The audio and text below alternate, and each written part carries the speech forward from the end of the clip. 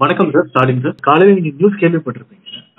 மாரிமுத்து அவர்கள் திடீர்னு மாரடைப்பு சொல்லவே முடியல ஒரு சம்பவம் வருது. இது பத்தி பயங்கர ஷாக் நியூஸ் ரொம்ப வருத்தமா இருந்தது. ரொம்ப அன்பா பேசக்கூடிய ஒரு படங்கள் ஒரு படம் அம்மா நடிச்சோம். கும்பன் படத்துல வந்து அறிமுகமாகி ரெண்டு வருஷமா அடிக்கடி போன்ல பேசியிருக்கோம்.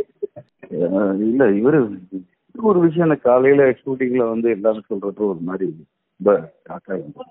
ரொம்ப ஆக்டிவா இருக்கக்கூடிய பொசிஷன் இப்போ வந்து நல்ல ஒரு நல்ல ஒரு கலைஞர் அற்புதமா நடிக்கக்கூடிய ஆர்டிஸ்ட் நான் அதுக்கு அவர் ஃபர்ஸ்ட் எனக்கு ஃபோன் பண்ணி ஸ்டாலின் என்னை இந்த மாதிரி சீரியல் நடிக்க கூப்பிடுறாங்க அப்படின்னு சொல்லி எனக்கு ஃபோன் பண்ணி கேட்டாரு பேசினார் எதிர்நீச்சல் பண்றதுக்கு முன்னாடி. பண்ணுங்கண்ணே நல்லா இருக்கும். நல்லா எப்படியும் உங்க டைம் எப்படின்னு பாருங்க. அந்த மாதிரி ஒர்க்கு எப்படி இருக்கும் என்ன ஏதுன்னு கேட்டுட்டு இருந்தாரு. அப்புறம் மேக்கப் என்ன ஏது அது விஷயம் என்ன?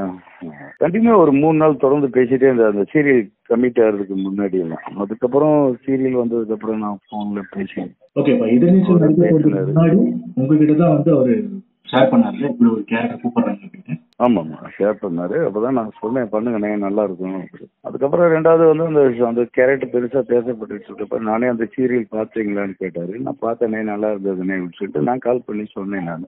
ரொம்ப நல்லா இருக்கனே அப்படின்ட்டு. நான் எதிர்பார்க்கல நல்லா பூஸ்ட் ஆயிடுச்சு நல்லா இருக்கு நல்லா வந்துட்டு இருக்கு கேரட்னு சொன்னாரு ரொம்ப அவ்வளோ சந்தோஷமா பேசிட்டு இருந்தோம். அது நான் ரொம்ப ஹாப்பியாக இருக்கேன் அதுக்கப்புறம் வந்து அந்த மேக்கப் வந்து ஒரு ரெண்டு ஒரு நம்பர் கேட்டாரு கொடுத்து அவங்கள கான்டாக்ட் பண்ணுங்க என்ன பண்ணுவாங்க எல்லாம் நிறைய பேசிட்டு இருந்தோம்.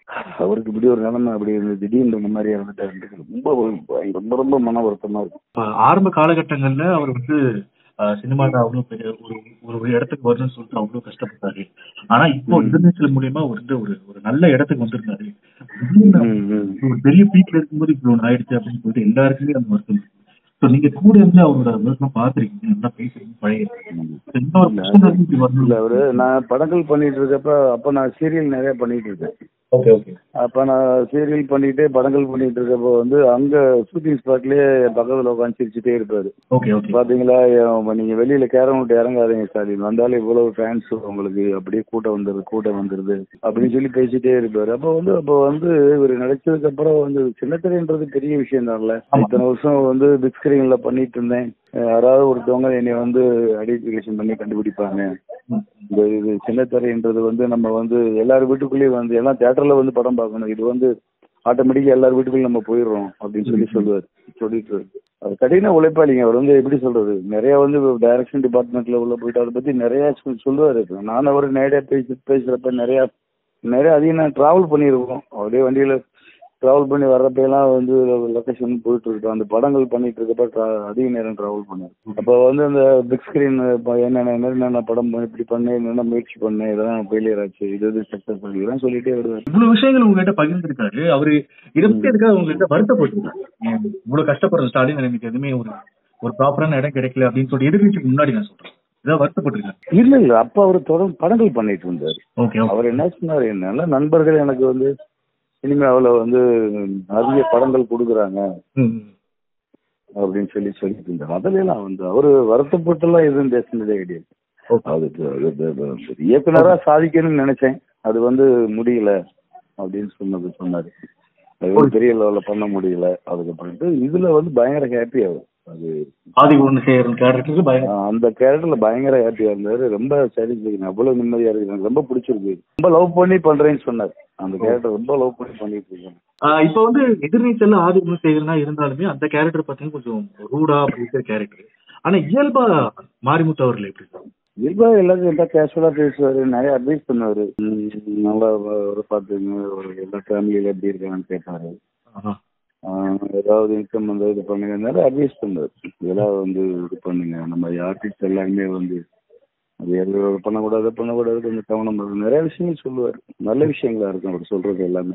இப்போ வந்து இப்ப திடீர் மாரடைப்பு அப்படின்னு சொல்றாங்க. அவருடைய ஹெல்த் சம்பந்தமா உங்ககிட்ட ஏதாவது இதுக்கு முன்னாடி ஏதாவது சொல்லியிருக்காரு? இல்ல இல்ல அது சம்பந்தமா பேசு அவர் எப்பயுமே ஆக்டிவா இருப்பாரு. Okay okay. அவர் எப்பயுமே பிரைட்டா பேசுவாரு. அவர் ஃபேஸ்ல வந்து நீங்க வந்து அவரை டல்லாவே பார்க்க பார்த்துருக்கே முடியும் புரியுது புரியுது. எப்பயுமே வந்து கிளீன்ஸ் எவ்வளவு இருப்பாரு அழகா எப்பயுமே வந்து அவ்வளவு பிரைட்டா பேசுவார். ஓகே அந்த அளவு சொல்றத கூட பிரைட்டா இருக்கும் அது அந்த அளவுக்கு இப்போ பேசக்கூடியவர். அவரு டல்லா இருந்து பார்த்து ஹெல்த்தை பத்தி அவர் அந்த மாதிரி அவர் சொன்னதே கிடையாது. கடைசியா எப்ப சார் மீட் பண்ணி மீட் பண்ணல போன்ல தான் பேசினேன். எப்போ பேசுங்க அது- அது இந்த இந்த கேரக்டர் மேரேஜ் கேரக்டர் வந்துட்டு இருக்க இடையில வந்து பேசணும். ஒரு இடையில ஒரு பேட்டி கொடுத்துருந்தாரு. யூடியூப்ல நிறைய வந்து ஒரு ஒரு நிறைய வந்துட்டு இருந்தது அதை பார்த்தோன்னே வந்து இப்போ நீங்க சீரியலை விட பேட்டியில ரொம்ப பிஸியா இருக்கீங்க பேசிட்டு இருந்தேன் வேற ஒன்று ஓகே அவ்வளோ வேற எதுவும் பேசு எல்லாமே இப்போ இப்ப ஆதிகுணசேகரன் அப்படிங்கிற கேரக்டர் வந்து மக்கள் மத்தியில பிரபலமா பேசப்படுது. பேசப்பட்ட கேரக்டர் சோ இருந்தாலுமே அது அதுக்குண்டான அந்த ட்ரால்ஸ் திட்டுகள் அது அதிகமா தான் வந்துட்டு இருக்கு. இப்போ அது ஏதாவது அவர் பாதிச்ச மாதிரி ஏதாவது உங்களுக்கு பர்சனலா பாதிச்ச மாதிரி? இல்ல இல்ல. அதுக்கு இருக்கு. அது ஒரு ஆக்டிங் வேற விஷயம். ஓகே ஆனா அவர் அதை என்ஜாய் பண்ணாரு. இல்ல அவர் அந்த கேரக்டர் நல்லா பிடிச்சிருக்கு. பெரிய பேசப்பட்ட ஒரு கேரக்டர் அந்த கேரக்டரை கரெக்டா பண்ணிட்டு இருக்காரு.